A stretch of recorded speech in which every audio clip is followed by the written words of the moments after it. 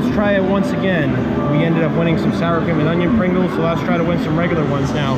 Here on this UFO catcher, they're in the Odaiba area of Japan.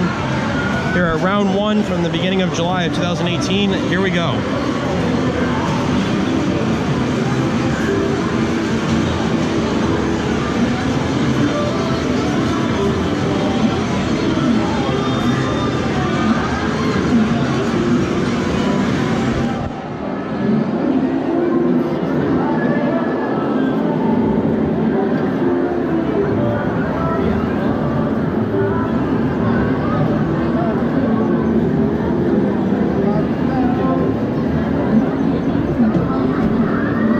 Go.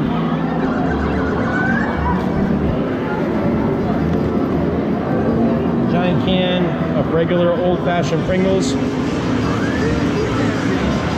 So there you go. So thank you guys for watching and we'll see y'all later.